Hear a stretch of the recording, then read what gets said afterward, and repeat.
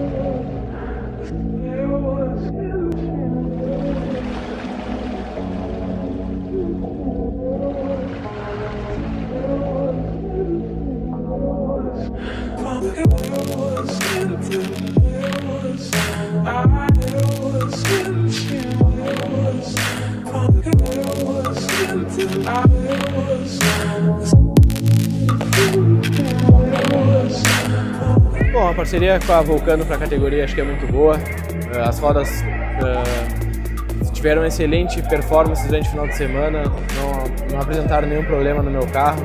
Acho que isso é, é, muito bom porque a gente piloto dentro do carro a mais de 200 km por hora, a gente tem que confiar no equipamento que a gente tem.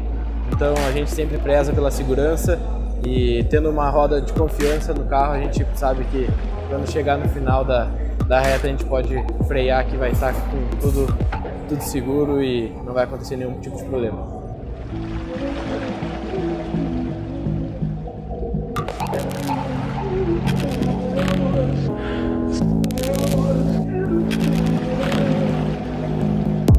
Começo de temporada muito bom para mim, a gente conseguiu uma vitória na primeira bateria.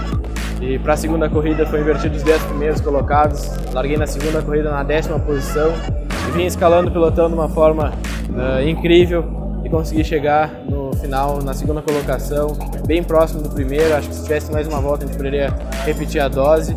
Então estou muito feliz aí com uh, o começo do campeonato, uh, podendo mostrar que a gente veio para buscar o bicampeonato.